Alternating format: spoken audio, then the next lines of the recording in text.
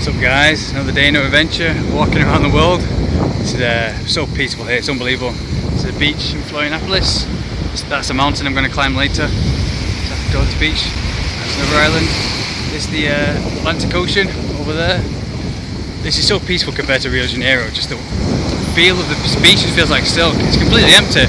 If this was Rio, people would be all over the place trying to steal your stuff and it's not too hot as well. Like in Rio, the air is not breathable, but here you can breathe the air. And everything just feels so uh, smooth and refreshing. The sea, the sand just feels like silk in between you. But yeah, we need the sea. We need nature. That's why people are miserable in like these cities like Buenos Aires and Asuncion are always angry. So yeah, the sea cures everything. You know, because we are like nature. We are one with nature. We, everyone needs the sea and the nature.